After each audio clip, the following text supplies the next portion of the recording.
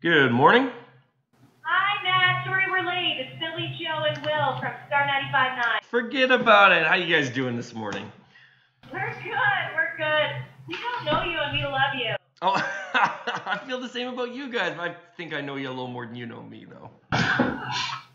We, um, I know you asked me, how did you hear about this? I'll be honest.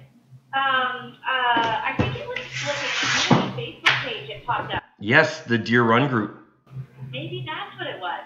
See, we're in Bonavista. Maybe that's what it was? I don't know what the hell it was. You guys are close. Yeah, this is so fun.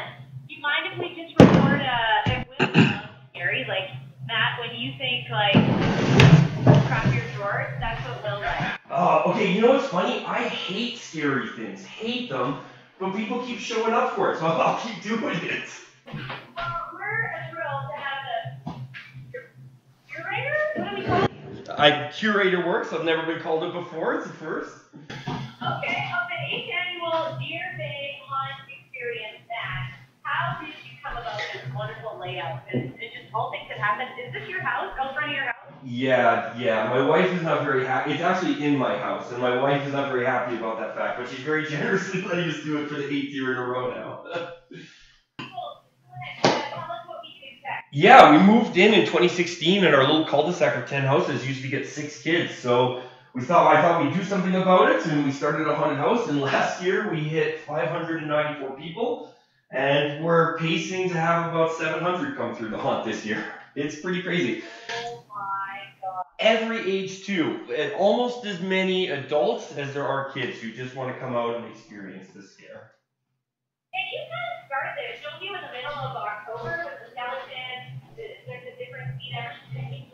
Yeah, my neighbor really got into it with me right from the day one. And she does kind of an elf on a shelf thing starting middle of October. Her skeletons are on her driveway and they do a different scene. One day they're skiing down a hill, the next they're changing the winter tires. It's, it's always really fun. I love it. What else can we expect? This is quite a, wow, you got a lot happening here. Yeah, we had we had so many people show up last year. We actually got a permit this year to shut down the cul-de-sac. So you're gonna park on the street, lots of street parking. You're gonna come in, drop a non-perishable in the casket. Last year people were super generous. They raised 140 pounds of food, which was for the food bank, which was amazing. You can yeah, uh, grab a hot chocolate by the hot chocolate station. You can check out the 20 foot tall pirate ship with the toasted skeletons. And then when you're ready, you can enter the haunt, and we have about a dozen volunteers from the community who are all really excited to scare everybody this year. How did you get your wife on board? I, she's very generous. That's all I gotta say. Quite a few, actually. There's quite a few people who start and then they decide they can't and they try to come back again. If, you have little kids, we have giant glow sticks. We're calling them magic wands, and we'll give it to you, and that way the volunteers know not to scare you when they see them. But for everybody else, it's fair game. You just gotta brace yourself. Well, you know, there was a house when I was a kid. We chatted about this, and uh, I remember I don't even know how old I was, but young. We went over there and they kind of deal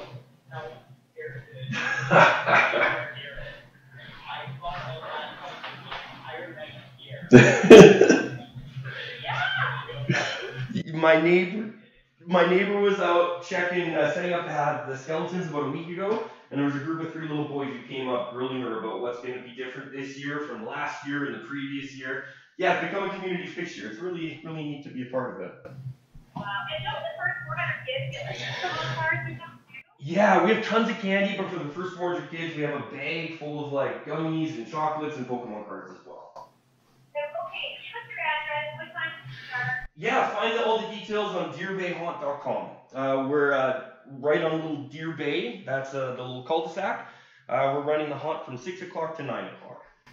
We love that you have your own website. Like, this is you, you gotta get the info somehow, right? awesome. Well, happy Halloween. And honestly, thanks for giving back to the community.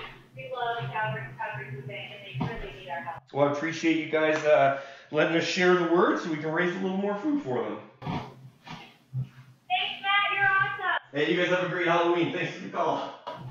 You bet. Bye. Bye.